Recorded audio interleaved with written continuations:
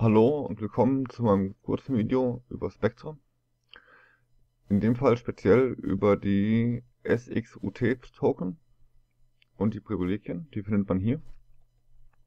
Kurz zu Spectre, wer davon noch nicht gehört hat.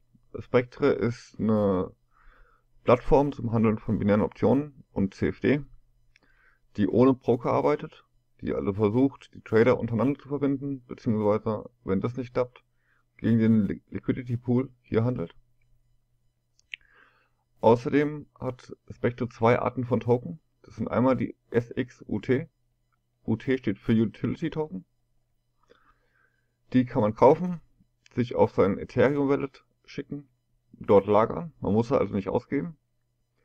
Und kann dann hier die Privilegien freischalten. Wenn ich also 768 Token auf meinem ERC20 Wallet habe, MyEtherWert benutze ich.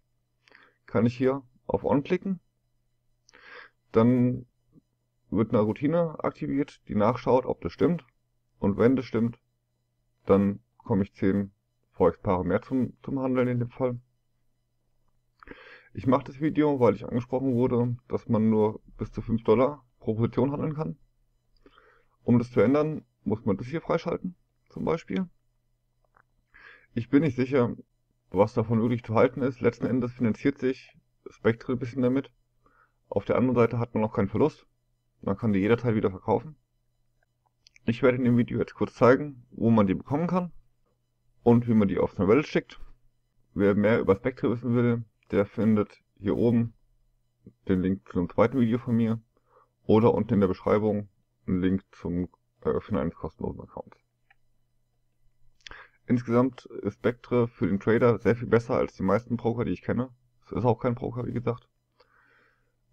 Vor allem hier das Risikomanagement ist sehr interessant. Hier kann man einstellen, wie hoch man, wie viel Geld man riskieren will. Das ist eine ganz schöne Sache, die auf jeden Fall dem Trader hilft und die auch einzigartig ist. Ich kenne das sonst von keinem Broker. So, kommen wir zu den Token. Wenn man hier draufklickt, dann findet man nochmal einen Überblick über alle möglichen ähm, Vergünstigungen. Es gibt hier auch Tradingkurse, wie man sieht. Weniger Spread, mehr, äh, mehr ähm, Return, also höhere Gewinne und so weiter. Es gibt verschiedene Plätze, wo man die kaufen kann. Ich persönlich bevorzuge B-Box. Hier ist auch das größte Volumen. Das ist auch immer gut. Macht keinen Sinn, auf einer kleinen Börse zu handeln, wo man dann an die Preise von den Leuten gebunden ist. Dann lieber viele Personen. So, man findet den Link hier unten eingeblendet zu VBox. Insgesamt habe ich mir hier jetzt erst einen Account gemacht. Ich muss jetzt erstmal Geld einzahlen. Mein erster Eindruck ist recht gut, auf jeden Fall. Sicherheit ähm, ist hier auch groß geschrieben, wie bei allen guten ähm, Börsen für Kryptowährungen.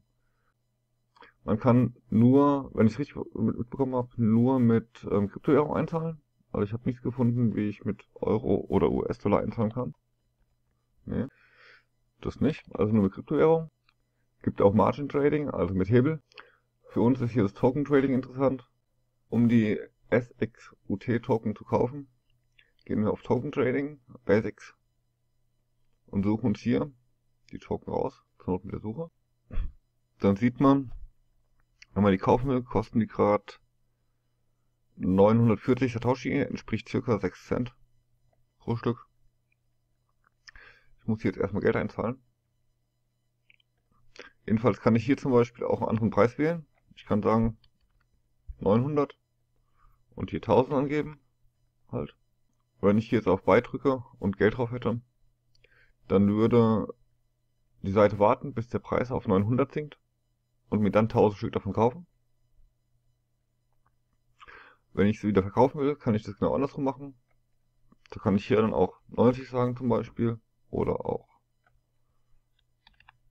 noch mehr. Und dann wird gewartet, bis der Preis erreicht wird.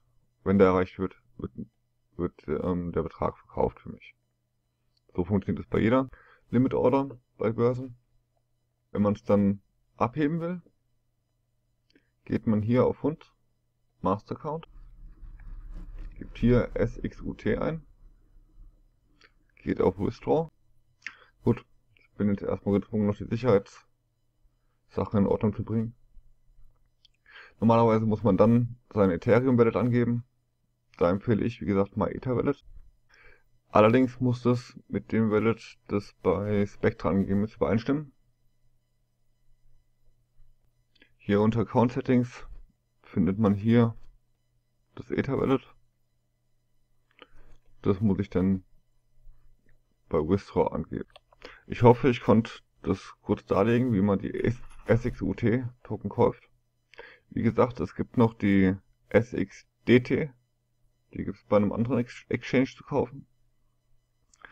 Das sind die Dividenden-Token von ähm, Spectre. Das ist auch eine interessante Sache. Dazu folgt dann demnächst nochmal ein Video. Mit den Token kann man sich ähnlich wie ein Aktionär bei Spectre mit einkaufen. So, ich bedanke mich wie gesagt fürs Zuschauen. Ich hoffe, ich konnte hier kurz ein bisschen helfen. Wem das Video gefallen hat, da freue ich mich über ein Like bzw. über einen Kommentar. Vielen Dank und bis zum nächsten Video.